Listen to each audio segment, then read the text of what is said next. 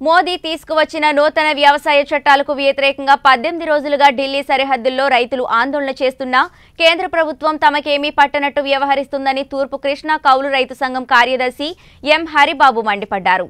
ఢిల్లీలో రైతుల ఆందోళనకు నిరసనగా కృష్ణా జిల్లా మచిలీపట్నం హెడ్ పోస్టాఫీస్ ఎదుట రైతు సంఘాల ఆధ్వర్యంలో నిరసన కార్యక్రమం చేపట్టారు. ఈ సందర్భంగా హరిబాబు మాట్లాడుతూ కార్పొరేట్ శక్తులకు మేలు చేకూర్చే విధంగా తయారు చేసిన నూతన వ్యవసాయ చట్టాలతో రైతులు రైతు కూలీలు పూర్తిగా నష్టపోయే ప్రమాదం ఉందని వాపోయారు. చట్టాలను తక్షణమే ఉపసంహరించుకోవాలని హరిబాబు కేంద్ర ప్రభుత్వాన్ని డిమాండ్ చేశారు. వ్యవసాయ చట్టాలు రద్దు చేయాలని చెప్పేసి గత పద్దెనిమిది రోజులుగా ఢిల్లీలో రైతాంగం తీవ్రమైన చలిలో కూడా పట్టుదలతో పోరాడుతున్నారు.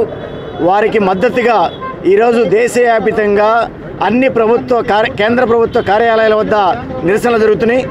అట్లాగే దీని ముఖ్యమైన ఉద్దేశం ఏమంటే రైతు ఎక్కడైనా అమ్ముకోవచ్చని రైతు ఎంతైనా నిల్వ చేసుకోవచ్చని ఈ పేరుతో పెద్ద పెద్ద కార్పొరేట్ శక్తులకి రైతుకి కనీసం మద్దతు ధర లేకుండా చేసి రైతులని దోపిడీ చేసి వాళ్ళకి మెయిల్ చేయడానికి చట్టాలు ఉద్దేశించారు. మరోవైపు ఏంటంటే ఈ వ్యవసాయం నుంచి రైతుల్ని కౌలు రైతుల్ని వ్యవసాయ కార్మికుల్ని తోసేసి కార్పొరేట్ శక్తుల్ని వ్యవసాయంలో ప్రవేశపెట్టి తద్వారా కార్పొరేట్ శక్తులకి మేలు చేయడానికి ఈ చట్టాలు ఉద్దేశించారు. ఇది తీవ్రమైనటువంటి అన్యాయం. అంటే రేపు రానున్న కాలంలో గ్రామ సీమల పరిస్థితి పూర్తిగా మారిపోతుంది. గ్రామాల్లో కూడా గ్రామ స్థాయిలో అదానీలు అంబానీలు తయారవడానికి ఈ చట్టాలు తోడ్పడతాయి. మరొకటి విద్యుత్ బిల్లు ఇరవై ఇరవై తీసుకొచ్చారు. అది ఉత్పత్తి ఖర్చు ఎంత అవుతుందో యూనిట్కి అంతా వినియోగదారుడే కట్టాలని చెప్తున్నారు. తద్వారా ఆంధ్ర రాష్ట్రంలో ఇప్పటి వరకు రైతులు ఉచిత విద్యుత్ పొందుతున్నారు. ఎస్సీ ఎస్టీలు రెండు వందల యూనిట్ల వరకు ఉచిత కరెంట్ ఉంది. ఈ వీటన్నిటికీ మంగళం పట్టడానికి ఈ చట్టాలు దోహదం చేస్తాయి ఇది అన్యాయం అని చెప్తున్నాం.